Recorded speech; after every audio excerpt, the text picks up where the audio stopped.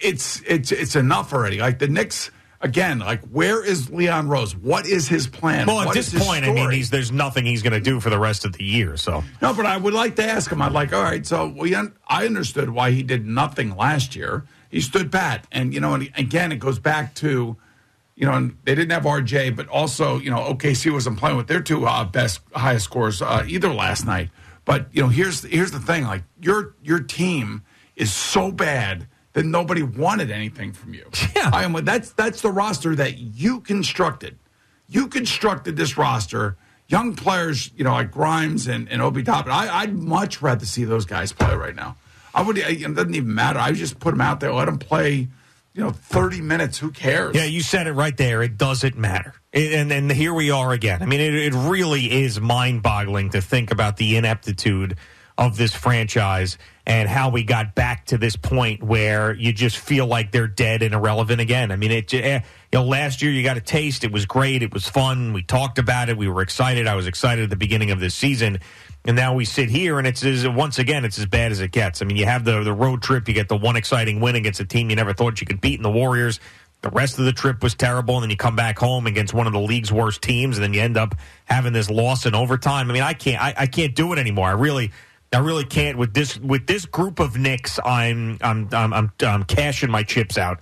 That's it. I'm done. Doesn't matter. Whoa, you can't whoa, keep got- these guys. wait this the rest. The rest of this season is. I, I can't. I I'm not going to dedicate more of my personal life to this group of losers. I can't do it. I can't continue to do this to myself. Like I, basketball, I, and I, it's really been beaten out of me. You know, I talk about football and how the Vikings beat it out of me, but I still love football. Yeah. I love it. I love, love it. I love it. I love it. I We love all it. love football. Yeah, I mean, I, I- I'll sit there and watch it. I'll bet on it. I'll, you know, with the Bengals in the Super Bowl, the whole thing. But but St. John's and the Knicks have just. It's almost like they are conspiring to make me hate basketball. Sunday before the Super Bowl, I'm watching St. John's have an opportunity to you know, save their season against UConn, and then no, absolutely not. Why would that happen? And then the Knicks, you're like, okay, well maybe it's a little bit of a run. You're back home. Well, we'll give it a shot. Julius Randle's playing well. Uh, maybe, maybe, maybe, maybe. No, okay, loss in overtime to Oklahoma City. Stop. What am I doing? It already, it's already February. It's freezing cold outside. Football season's over, and this is what I've got in my basketball world. Is these two teams to kick me in the nuts every time I put them on? And this is the. and I was telling you this morning when I was limping in with the, with with gout, and we're talking before the show. I said the only thing that I have is to root against the Nets. Right. That's it. And for the Islanders to somehow come back and make the playoffs and maybe make a run, and who the hell knows? But eh, every time I bring that up, they played a lot of hockey, Bigs. Played a lot of hockey. So I'm, I'm not expecting them to do much. So all I've got is to be a hater. That's what I've got this morning, is to be a hater. And I hate that. I don't want to be a hater. I don't want to be a hater. I want to be a lover. I want to be someone who enjoys sports. I want to be someone who gets to root for something fun. You've got that with your team. I don't have anything. I don't have. I don't have a baseball team that's scheduled to do anything because they're locked out. My football team missed the playoffs. Both my basketball teams make me want to hate myself. What? Uh, where am I here? where am I? You're, I, you're Where the- am I as a sports Hey, you fan? know, I know it's also going on. You're in the middle of a prolon fest. That too. yeah, yes. I, I mean, so you're all you're all like edgy, like you're totally edgy. I'm a little- I am a little irritable. You are irritable. You're edgy. You got the gout. You got you got all things going on in your It's a life. rough time. It This is a rough stretch for me. It is a rough stretch. I get it. That's why you know I'm now. I am now for me because I'm not worried about baseball. They'll figure it out. I don't What, know wait, when. how could you just say I, that? I don't. I, I don't They'll really you know- figure it out. You know what? I don't really care. I am so now focused in on the New York Rangers and their quest for a ah. cup, and to find out really truly how good they are and what kind of trades Chris Drury is going to make here to fortify this team to make a serious run at the cup. I got some ideas for him. Yo, you got some I- ideas for him? I, know. I know one you guy. I, I know one guy that I want. I'll tell you about him later. I know one guy that I think we should go and get like tomorrow. Okay. Uh, and if we can, uh, and I think I think he may be available. I'm not sure, but we'll have to find out. That's a little tease for Ranger fans out there because I will be going to the game tonight and I will be scouting the game. Tonight. Oh, will you you? know, I will not be charting the, the the flow chart of the players on the ice and how much time they're spending on the ice. I don't I don't do that. Well, who we got? go- We got Randy going tonight. No, No, I got a couple of my You got, boys. you got, uh, you got Dimitri coming tonight. yeah, yeah, yeah, yeah. All right, you got Dimitri. Somebody, uh, I ran into somebody at a bar who said, uh, "Yeah, I grew up with Dimitri," and I forget who that was. But anyway, All right. Aside, you got Plankster going tonight. Yep, yep. It's All right. not Planksker, it's Plansker. Oh, sorry, Plansker. I keep doing that. Why do you why do you why do you call him Planksker? because I thought that was his name. No. Plansker. yeah. All right, so Plan P A L N. Yes. Plansker. Yeah. All right. Uh, so uh, Plansker and Dimitri And uh yeah, and Deggerness. and Degger. Oh, oh yeah, yeah, Aaron. Yeah. I know him as Aaron. Yeah. I mean, Deggerness is a little cumbersome. It I would just go with Aaron. Right. You know. Right. So all right, all right, very good. Yeah, that that's your Ranger group right there. I like Right. that. Yes. venturing out, taking in a game. yeah, one hundred percent. It's been a long layoff for you guys. Well, not really. I mean, we've been to a few games, but uh, you know, my thing now now I'm totally like I'm unencumbered. You know what I'm saying? Like I'm totally unencumbered. You're unencumbered. Right. And uh, they haven't played it seems like in a month. Well, you're Uh, unencumbered because football's over, type of thing. Is Like that I what could you're talking just talking finally about? relax, man. I could just take it easy. You know, I did the Peloton yesterday, the sauna blanket. I'm ready to go, man. So you enjoy like the off season. you enjoy this time of year because you get your free time, type of I- A thing. little bit back, yes. A little bit more normalcy. I think I worked like 48 days straight there. oh yeah, well that's So that was that was a little bit much, but It is- it other than that, it was much. great. It was uh, you know right in the middle of the the whole NFL playoffs and the mix and all this other stuff. We got the draft coming up. We got all things happening. I know one thing. Going back and watching the game film, the Game Pass on Oh, NFL, th- you are you going to drop an all twenty two on me right now? I'm going to drop it all 22 on you. I, I will pull it up on my, on my screen, and I, and and I have to I have to give credit to my man Carton because I saw one of his tweets, and it made me want to go back and look at a particular play because he was pointing out some things. And uh, Craig, you put a tweet out yesterday on the last play of the game where Aaron Donald just goes after Joe. yeah, Burrow. yeah, yeah, yeah. So there three- Chase was open down the sideline. When you see it, you're gonna be you're gonna be like sick to your stomach because Jalen Ramsey falls. He falls, and, and when he falls, it's about 15 yards from the line of scrimmage, and Ja'Marr Chase is just running down. I mean, the field he- with his did Joe Burrow open. have any sort No, of no, time no, to no, make? he, the- he didn't. He didn't. so I'm then, saying- what's the point? Well, the point is, is that the game could have been won right then and there had the offensive line of the Bengals Oh, been able to to, Oh. to even just slow down Aaron Donald, maybe for a half. I was going to say. I mean, it wasn't Joe Burrow's But fault. if you he watch- had you see- no shot to get that ball out You can't see this, but down the field about 20 yards, uh, Ja'Marr Chase is standing wide open as Jalen Ramsey fell. Yeah. Okay. I mean, he fell again. I mean, and you want to talk about a guy, you know, I know Eli Apple's taken a lot of heat from Sure. the NFL players and all this other crap for, you know, getting beat. I guess he must have been mouthing off to the Kansas City Chiefs when they beat him in the AFC Championship game. But um, this would have been Jalen Ramsey's worst nightmare because he had gotten beaten already by Tee Higgins, and now it was going to be Ja'Marr Chase. Ja'Marr Chase also made a, you know, another great catch over him early in the game. Isn't this one of those if I had balls, All it'd be my, balls would be my aunt. scenarios? Isn't that one of these things? I mean, Aaron Donald dominated. I mean, you could stop and look at every single play and be like, well, if he didn't get sacked here, he could have done this. But he did. You know, got it's sacked not. six times in the second half. It's And not- Aaron, it's- Aaron Donald uh, basically wrecked the game. Yeah, I mean, it's the not as if he was standing back there. Like, you know, there were a couple of times that I remember watching Daniel Jones, and it was actually one of the Monday night games that they played.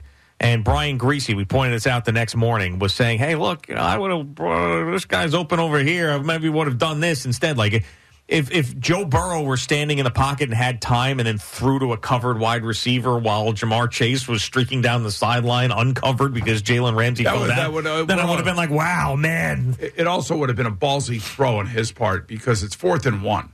So he's thinking, I got to get the ball out of my hands quick. I got to Right. hit a short guy. He's not thinking, okay, it's one and one uh, Chase and Ramsey in this situation, and I am gonna and I am gonna go for this right then and there. That you know, if he did that, and he would have thrown the ball, Yeah. and Ja'Marr All right, Chase balls would be my it, aunt. Yeah.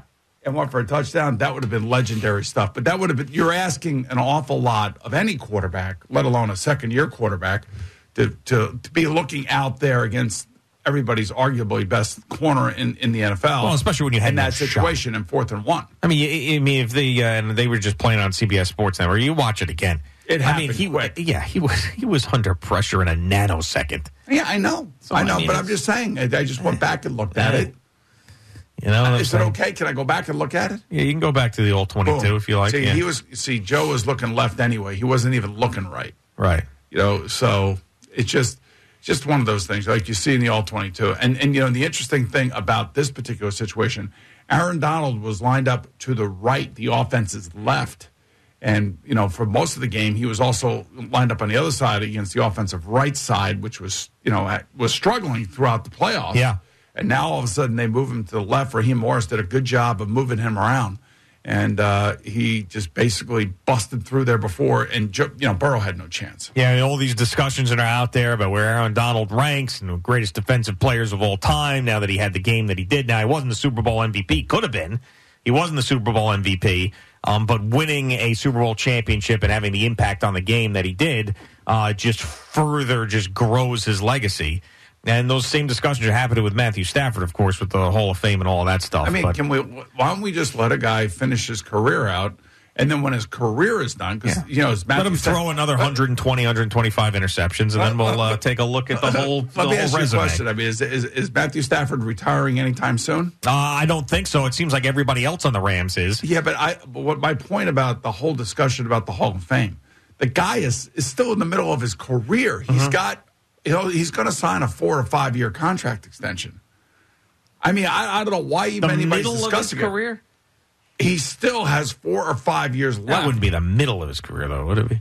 All right, so it's a back third of his career. How go. about that? That sounds. How about that? How about that? Is that, sounds right? I mean, me, why, yeah. why are we even arguing about it or even talking about it? It seems like so stupid. I'm not a big Hall of Fame discussion guy. I got to be honest with Yeah, you. then why did you bring it up then? I don't know because uh, I, I'm Because you don't want to sure. talk about the Knicks. I guess. I guess. So, but I again, I, just to go back to this Knick game last night. So you get fooled by statistics, you know, triple doubles, this and all that. I mean, when the game is on the line, is when you find out about who your players are and what they do, and and and whether or not they're capable of winning games against bottom feeding teams in crunch time. And your best player again throws the ball away. He threw the ball into the first row of the stands. Yeah. He, he threw the ball out underneath the basket. Just brutal. I mean, it's it it's like you're in overtime, you're down by four, there's 30 seconds to go, and you throw the ball into the front row of the stands, right over the bench of the OKC Just Thunder. perfect. It's just perfect. I mean, like I, th- this is the kind of crap that I'm talking That's about. your 21 22 Knicks in a nutshell right there. But again, a triple triple double played three good games in a row. Meaningless. But in crunch time, balls getting thrown away, shots not made, uh, up, you know, fouls, offensive fouls, like out of control players. You know, Immanuel Quickley, you know, just again, I love Immanuel Quickley. I really do like him, but man, there are times where his hair is on fire. Yeah, well, that's that'll be the. I'm, I'm saying goodbye to the Knicks this morning. You are? Uh, uh, that'll be the last time that I watch these guys for the rest of the year. That's it. Last night was it. See ya. See you later. not gonna watch I'm gonna. again. I'm gonna start watching Ozark. I've been putting that. I have to finish Yellowstone. Uh-huh. The Tinder Swindler. Uh, I tried Thousand Pound Best Friends after Thousand Pound Sisters stopped. Did not like Didn't, Thousand Pound one Best of the Friends. thousand pounds somebody's just die? Uh, no, probably 600 pound life Yeah. person probably died. Yeah, they they they chronicled so many lives. It's just uh, you know One of them just died. percentages, yeah. Uh, but not one of the thousand pound sisters. So I'm just starting that when the Knicks are on, I'm going to start going into the rotation there. Uh, Love is Blind is back on Netflix. I think I'll try that out. Uh, but the Knicks this year to waste any more time on that team, I can't do it. I'm an adult. I got to make adult decisions. I'm so you can tell me about it. I'll just say, hey, what happened with the Knick game last night? You're going to sit there and, and, and torture yourself watching these I, bums. I don't, what am I supposed to do? I mean, like, you know, I felt like I wasted two and a half hours of my life Ex- last night. there you- I won't say that. Bingo. Bingo. This is what I'm talking. I can't do this anymore. Wasting my time.